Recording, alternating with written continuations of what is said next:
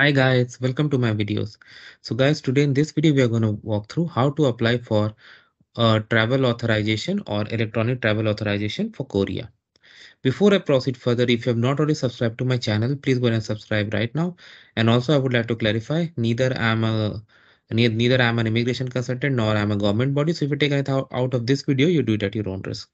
All right, guys, so let's proceed. So guys, uh, ETA is nothing new. Lot of countries issue and Korea, South Korea does it too. So we are going to walk through further process. So in front of you, I have opened this official website of the government of the Republic of Korea. Okay. And I have taken you for ETA uh, page.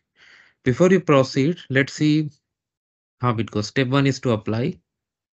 Step two to enter email, enter passport information, enter application information. Then you make payment then do then they do processing or assessment and finally result comes. There's a fee that is equivalent to 10,000 Korean currency that is around USA 9 to 10 USD okay? So we are going to walk through it. And uh, you need this before you board a flight or ship to Korea okay? And you can also do it through the mobile app. So mobile app will watch in a different video but now let's go through this. So this is from the countries that uh, visitors from the countries that are visa free for Korea. Okay. So you click here. Okay. Select continent region where you are, Americas, and that is on your passport. As you can see, does not have all the countries because these are the countries uh, whose citizens can avail this facility. So if you're Canadian, you can do that.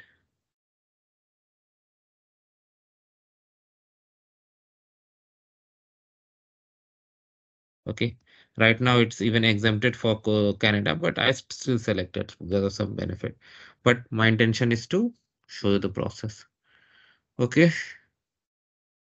They have asked for the data collection. I click on agree and I click on agree.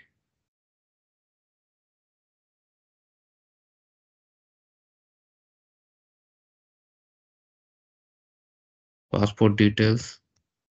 So you can read through that. I have just for the purpose of this video, I have clicked on that.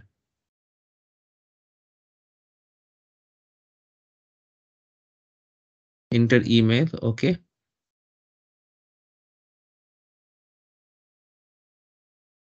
Okay, so email I'll simply create Korea oh First is asked to create the passport number. So I'll just put some sample.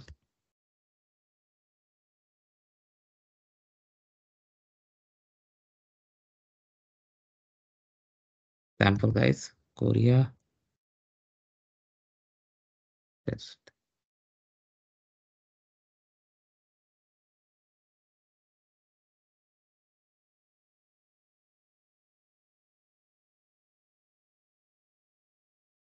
Okay. Next. Okay. Now it has asked for the passport information.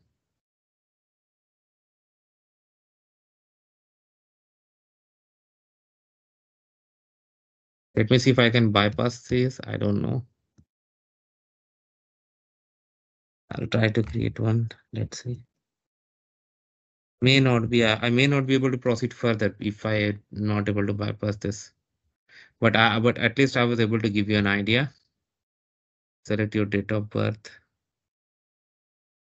Sample guys.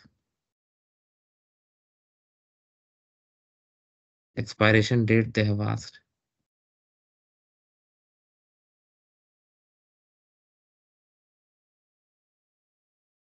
Oh, it seems I passed that step. Okay. It is asking if you have dual citizenship. I select no.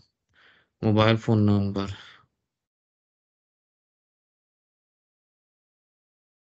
Visited Korea before. If you have visited, yes. Purpose of entry, let's say tourism. So I select tour.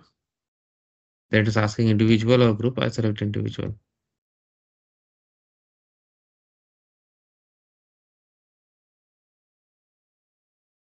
Visa does not have details, none. Okay, I'll select none. Let me see if I can bypass this. But if you are going there, you select these buttons and put the address where you'll be staying. Okay, contact number in Korea. Okay. Current job. Unemployed, self office worker, whatever is applicable. Are you currently suffering from these diseases? I select now. Have you been arrested, charged, or convicted of criminal offense? Now it is asking a photo.